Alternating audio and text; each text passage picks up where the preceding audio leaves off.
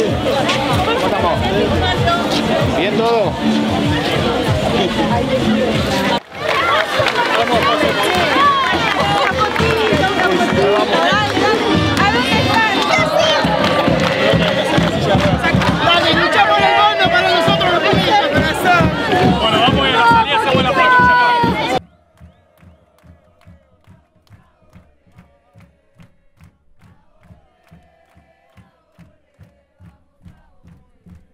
Para cerrar con esta jornada de diálogos por la soberanía, es un honor presentar en la ciudad de Ensenada al compañero diputado nacional Axel Kicillof.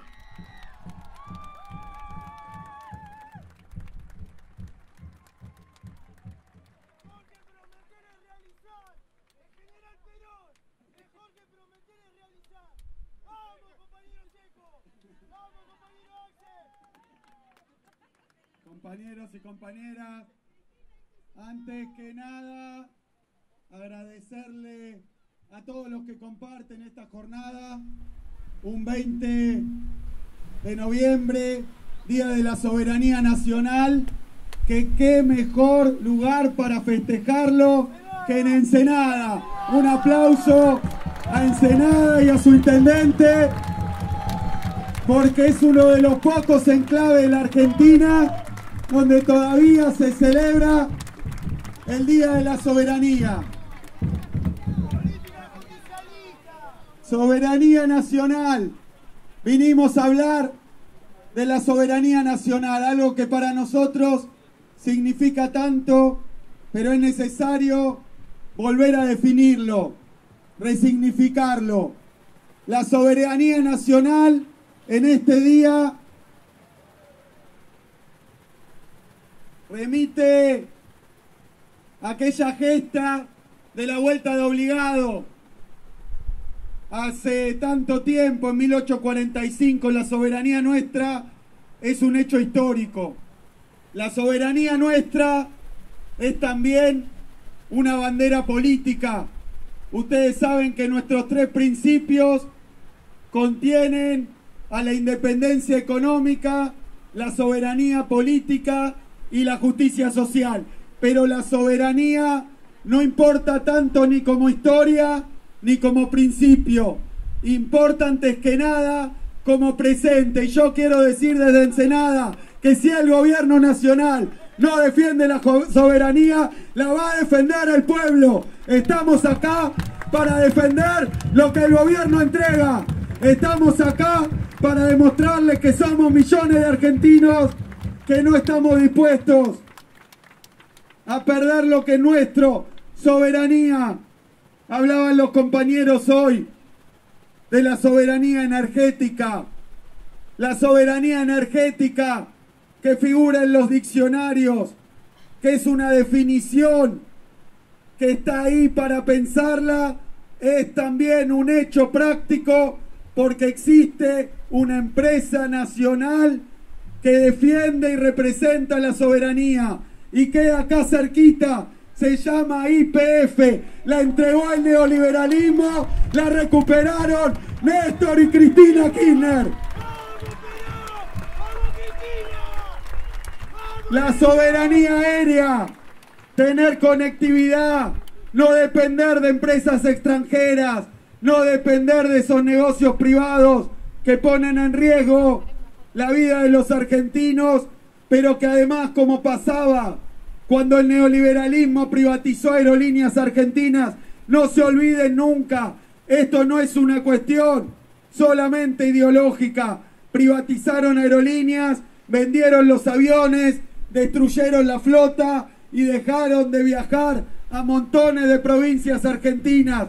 Solo va cuando no hay una empresa que represente la soberanía, solo importa el negocio y dejan afuera a millones de argentinos. Ahí estaba Aerolíneas Argentina, diezmada, vaciada, privatizada y tuvo que venir para el que duda un gobierno nacional, popular, democrático de Néstor y Cristina Kirchner para que Aerolíneas Argentina vuelva a ser una empresa de soberanía. Astillero Río Santiago, porque también está, y hoy hablamos acá de la gesta de la vuelta de obligado, como si fuera simplemente una cosa del pasado. ¿Saben qué? Me comentaba un especialista en esto, Carlos Bianco, que en el tratado que quiere firmar Macri con la Unión Europea figura de nuevo la libre navegación de los ríos. Macri no estamos en 1845, estamos en Argentina, estamos en el año 2000 y no vamos a dejar que entreguen de nuevo la soberanía nacional. Vamos a estar nosotros defendiendo la soberanía. Porque astilleros significa no solo libre navegación de los ríos, que es una forma de tomarte los mercados y de penetrarte, sino también que esos ríos vuelvan a estar llenos de barcos de bandera argentina fabricados en la Argentina. Cuando volvamos a ser gobierno, vamos a poner a funcionar a toda máquina de nuevo los astilleros que de nuevo lo vaciaron en 2003 estaban por fundir cuando llega Néstor Kirchner y en 2004 tuvo que volver un gobierno nacional, popular y democrático para poner en marcha de nuevo el astillero Río Santiago. Los cielos, los mares, pero también las finanzas. Argentina, hay que recordar la historia, Mario se crea el Fondo Monetario Internacional. Empiezan a obligar a los países a entrar. Entran todos los países. No, uno no, porque Argentina estaba gobernada por el general Juan Domingo Perón, que dijo que el Fondo Monetario era un instrumento de los bancos extranjeros, no era para ayudar a los países, era para exprimir a los países. Y ahí tenemos que después, después de que derrocaron a Perón con un golpe de Estado, porque eso también, compañeros y compañeras, a nosotros cuando estábamos en el gobierno nos acusaban de no ser democráticos. El otro día el ministro de Economía dijo como si fuera una provocación que esta es la primera vez que se iba a ajustar a un país de esta manera sin que caiga un gobierno y lo decía como orgulloso. Yo lo que tengo que decir es que si este gobierno no cayó es porque del otro lado está una fuerza que es democrática, que es pacífica y que se llama peronismo. Nosotros no vamos a hacer lo que hacen ellos, no lo vamos a buscar que terminen su gobierno de la peor manera. Vamos a conseguir algo mucho más difícil, pero mucho mejor, y más genuino, que es echarlos del gobierno por las urnas. Vamos a ganar con la militancia en todo el país, en la provincia de Buenos Aires, las próximas elecciones. Y ahí le vamos a dar una elección de democracia. Compañeros y compañeras, después de que voltearon a Perón, entraron al Fondo Monetario Internacional y después nos empezaron a endeudar y endeudar y endeudar así como en los cielos, así como en los mares, así como abajo de la tierra con el petróleo, hay una disputa por la soberanía financiera. ¿Y saben qué? Nos endeudaron en los 90, terminamos en un default y tuvo que venir un gobierno nacional, popular y democrático a decirle al Fondo Monetario Internacional que tenía que cerrar la oficina y ese gobierno que le pagó la deuda y que le dijo nunca más van a ver nuestros números, es el gobierno de Néstor y Cristina Fernández de Kirchner. Esto no es ni historia ni teoría, esto es el presente vivo de la República Argentina. Y de la misma manera, y de la misma manera, decía el compañero acá, que no hay soberanía si no hay trabajo. Eso es cierto. Pero también, como demuestran IPF, aerolíneas, nuestra banca nacional, como demuestran los astilleros, más cierto es que si no hay soberanía, no hay trabajo y que también si no hay trabajo, no hay soberanía. porque el astillero Río Santiago, además de ser un instrumento de soberanía, es una fuente de miles y miles de fuentes de, fuerzas de trabajo, de fuentes de trabajo para todos los argentinos de la región. Vamos a defender nuestra soberanía y vamos a defender el trabajo nacional. Compañeros y compañeras, el astillero Río Santiago demuestra que además esta no es solamente una cuestión de Macri y del gobierno nacional. Para que Macri y su gobierno puedan hacer lo que están haciendo, necesitan cómplices, necesitan apoyo, necesitan ayuda. Y yo creo que la principal cómplice, ayuda de Macri se llama María Eugenia Vidal, que es la responsable de que hoy esté en riesgo ese astillero que es de la provincia. Si no hubiera juntado los votos, si no se dedicara todos los días no a cuidar a un solo bonaerense, sino a cuidar al presidente Macri, si Vidal no fuera el brazo ejecutor de la política de Macri, tendríamos otra historia. Así que quiero decir acá en Ensenada que la próxima elección lo primero que tenemos que hacer es sacar a Macri y también a los cómplices de Macri. Para eso estamos. Vidal, la gobernadora virtual, que no está acá, que nunca está cuando se pierde un puesto de trabajo, que está solamente para defender a su patrón y a su socio del gobierno nacional. Compañeros y compañeras, pero esta etapa de la historia nos deja también otra lección. Cuando el gobierno nacional se borra, cuando la provincia es cómplice y también se borra, afortunadamente en muchos lugares de la Argentina tenemos compañeros intendentes que ponen el lomo, que ponen la espalda para cuidar a la gente, para darle de comer, para mantener las obras. Esto muestra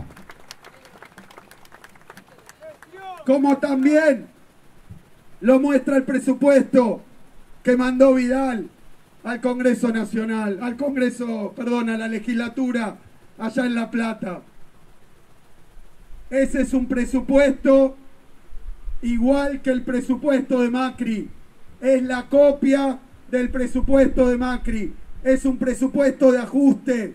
Es un presupuesto de endeudamiento. Es un presupuesto de retirada del Estado, de la salud, de la educación. Es un presupuesto que tiene un solo objetivo. Porque Vidal se hace como heroína de haber recuperado el fondo del conurbano bonaerense. ¿Saben qué? Vidal, probablemente una de las peores gestiones de la historia de la provincia, endeudó tanto a la provincia que hasta el último mango que dice que recuperó se lo va a dar a los usureros. Es un gobierno que trabaja para el sector financiero, no trabaja para la industria, no trabaja para los sectores que necesitan, trabaja para darle de comer a los usureros del sector financiero. Y por último, quiero dejar en claro, la soberanía, hoy un 20 de noviembre podemos decir que no es algo que solamente tiene que estar en la historia, en el recuerdo, que tiene que estar en nuestras banderas. La soberanía es algo que tenemos que defender todos los días. No lo defiende el gobierno, lo defenderemos nosotros. ¿Y cómo lo vamos a defender? militando casa por casa, timbre por timbre, fábrica por fábrica, denunciando un gobierno neoliberal que entrega la soberanía y mostrándole a la gente que con un gobierno como el que tuvimos los últimos 12 años y medio, no todos los políticos son iguales. Con unos gobiernos se come, con otros no. Con unos se llega a fin de mes, con otros no. Con, un gobierno se tiene trabajo, con otros no. Compañeros y compañeras, tenemos algo que defender y tenemos quien lo lidere. Se llama Cristina Fernández de Kirchner. Vamos a estar con Cristina en la próxima elección. Vamos a estar militando en cada plaza, en cada barrio, en cada fábrica. Ni un minuto. Vamos a bajar los brazos hasta que el último argentino se dé cuenta por más blindaje mediático que haya, de qué se trata el gobierno de Macri y de qué se trata el gobierno de Vidal y que nos merecemos algo mejor. Y eso se llama un gobierno nacional, popular, democrático y feminista. Muchas gracias. Fueron las palabras del diputado nacional Axel Silov. Y de esta manera agradecemos a todos los disertantes. Muchas gracias a todos y a todas por participar del encuentro. Diálogos con la soberanía.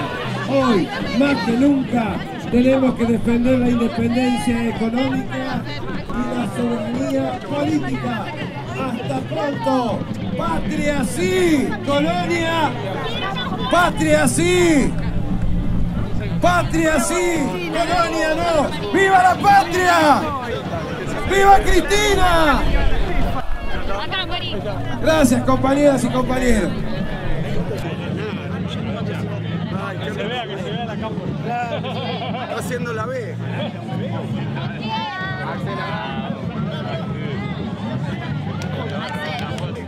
Axel.